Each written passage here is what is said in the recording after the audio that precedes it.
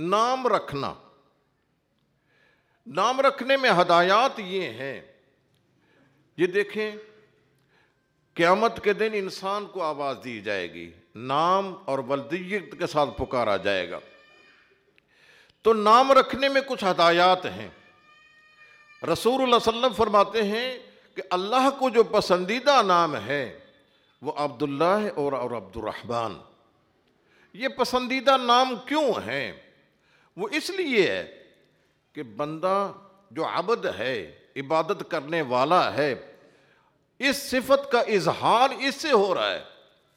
और अल्लाह जो मबूद है, ये अब्दुल्ला का नाम रखने से अब्दुलरहमान का नाम रखने से, अल्लाह के मबूद होने की जो सिफत लाजिमा है, उसका इजहार होता है। ये सिर्फ़ अब्दुल्ला और अब्दुलरहमान को अल्लाह ने पसंद क्यों किया है? कुरान करीम में अल्लाह ताला ने अबद की नस्बत अल्लाह की तरफ़ की है। वह अन्नहू लम्मा काम अब्दुल्ला यदूह का यकून ये अब्दुल्ला कि जब अल्लाह का बंदा हमारा खड़ा होता है ना तो ये लोग उसके गिर जमा हो जाते हैं उस पर लपकने के लिए, उसको हटाने के लिए। ये आबद की नस्बत अल्लाह की तरफ़ की गई है। और दूसरे मकाम पर अल्लाह ने इबादुलरहमान के अवसाफ बयान किए हैं। इस अबद को रहमान की तरफ़ नस्बत किया गया है। वह अर्ज़ इसलिए अल्लाह के यहाँ यह पसंदीदा नाम है। अल्लाह तबारक ताली के बेशुमार नाम हैं। उनके साथ अबद लगा लिया जाए तो ये नाम अब्दुलरहीम अब्दुलरहमान अब्दुल्ला, अब्दुल क़यूम ये नाम रखे जा सकते हैं। और पहली कैटागरी यही होनी चाहिए कि अब्द लगाकर आगे अल्लाह का नाम लगा दिया जाए।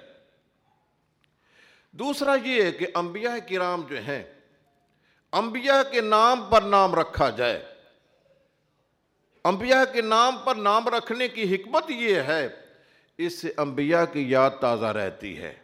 उनकी सीरत और किरदार ताज़ा होता रहता है और हमें पता चलता है कि अम्बिया क्या लेकर आए थे। इसलिए अम्बिया के नाम पर नाम रखना, ये मशरू है, मुस्तहब है, पसंदीदा है। हज़रत रसूल वसल्लम की एक बांदी मारिया थी। उनके यहाँ जब बच्चा पैदा हुआ तो रसूल वसल्लम फरमाते हैं, सुबह की नमाज़ के बाद आपने फरमाया आज रात मुझे अल्लाह ने बेटा दिया है। वसमई तो हूँ भी इसमें अभी इब्राहिम। मैंने अपने बच्चे का नाम अपने बाप इब्राहिम के नाम पर रखा है। तो इब्राहिम चूँकि एक जलील कदर नबी हैं, जद्दुल अम्बिया हैं तो आपने उनके नाम पर अपने बेटे का नाम रखा है। हज़रत अब्दुल्ला सलाम रज़ी अल्लाह तह उनके यहाँ जब बेटा पैदा हुआ तो वो रसूल सल्लम के पास उनको लेकर आया। फसमाह यूसुफ। तो रसूल सल्लम ने उसका नाम यूसुफ रखा। इसलिए ये अम्बिया किराम के नाम पर नाम रखा जा सकता है। हज़रत मुगीरा बिन शोबा कहते हैं कि मैं नजरान के इलाका में गया। वहाँ एक ईसाई पादरी कहने लगा कि मुझे तुम्हारे कुरान पर एक एतराज़ है। बताओ भी क्या? तुम्हारे कुरान में है मरियम अलैहिस्सलाम के बारे में। यह उख्त हारून, ए हारून की बहन। तो ये हारून तो बहुत पहले पैदा हुए थे। मूसा अलैहिस्सलाम के ज़माना में, मूसा अलैहिस्सलाम के भाई और मूसा अलैहिस्सलाम से पहले फौत हो चुके थे।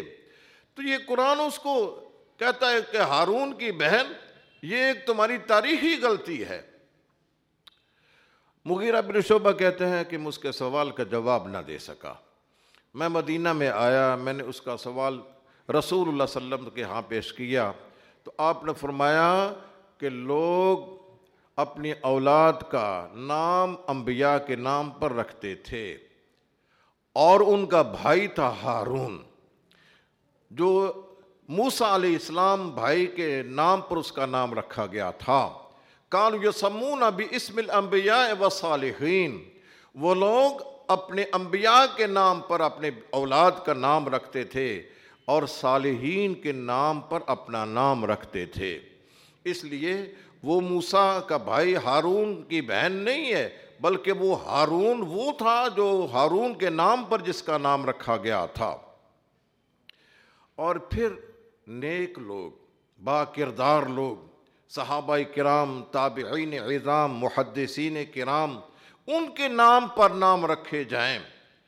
इसलिए कि जो उनकी खिदमात हैं, जो उनका किरदार है, अल्लाह करे ये बच्चा भी उसका हामिल बन जाए। ये नियत करते हुए हमारे यहाँ आम तौर पे ये होता है कि हम किसी क्रिकेट का खिलाड़ी है या गुलूकार है, या मुगन्नी है, या मुगन्निया है, हम उसके नाम पर नाम रखते हैं। ये गलत है। आप इस्लामी नाम रखें। पहला है कि अल्लाह की तरफ़ जिसकी नस्बत हो। दूसरा ये है कि अम्बिया के नामों पर नाम रखे जाएँ। और तीसरा ये है कि वो सालहीन के नाम पर नाम रखे जाएँ। और चौथा ये है कि नाम ऐसा रखा जाए जिसका मफहूम और माना हो। कुछ लोग ऐसे होते हैं जो महज इनफरादियत को कायम रखने के लिए कि हम ऐसा नाम बच्चे का रखें जो इससे पहले ना रखा गया हो। ये सिर्फ़ सैदना याहिया इस्लाम की सिफत है कि वो लम नजा मिन कबल समिया। अल्लाह तबारक ताली ने हज़रत ज़करिया इस्लाम को बेटा अता फरमाया और उसका नाम भी खुद तजवीज़ किया। इसका नाम यहया है। लम नज मिन कबल समिया। इससे पहले यहया किसी का नाम नहीं था। तो ये इनफरादियत उनकी है। हम ये जहन न रखें कि हमने कोई इनफरादी सा नाम रखना है। ऐसा जो किसी ने पहले ना रखा हो। कुछ ममनू किस्म के नाम भी हैं। ममनू नामों में से एक ये है कि ये अबदियत जो है, अल्लाह का बंदा इस अब्द की नस्बत गैरुल्लाह की तरफ़ की जाए। अब्दुल नबी अब्दुल रसूल, इस तरह के नाम रखना यह गलत है। इसी तरह किसी पीर की तरफ़ नस्बत की जाए, ये गुलाम फरीद नाम रखा जाए, पीरा दिता नाम रखा जाए, गौस बख्श नाम रखा जाए, ये भी गलत है। अल्लाह देने वाला है और नस्बत पीरों की तरफ़ की जाए, ऐसे नाम नहीं होने चाहिए। इसी तरह जो बड़े बड़े जाबर, जालिम, उनके नाम पर नाम रखना। कैसर, ये रूम का बादशाह है। किसरा, ये ये ईरान का बादशाह है। हिरकल, ये नाम रखना। परवेज परवेज पता है कौन है? रसूल सल्लम ने जब एक ख़त लिखा था, तमाम बादशाहों को एक ख़त ईरान भेजा, असलिम तस्लिम। मुसलमान हो जाओ, तुम्हारा बचाव हो जाएगा। तो रसूल सल्लम का ख़त एक ईरान के बादशाह किसरा को भी पहुँचा, उसने गुस्से में आकर रसूल वसल्लम के ख़त को फाड़ दिया। जब अल्लाह के रसूल को ये इतला मिली, फरमाया कि उसने मेरे ख़त को नहीं फाड़ा है, अपनी हुकूमत को टुकड़े टुकड़े कर दिया है। वो ख़त को फाड़ने वाला वो परवेज़ था। इसलिए परवेज़ नाम रखना, हिरकल नाम रखना फ़िरौन नाम रखना और इसी तरह कैसर नाम रखना।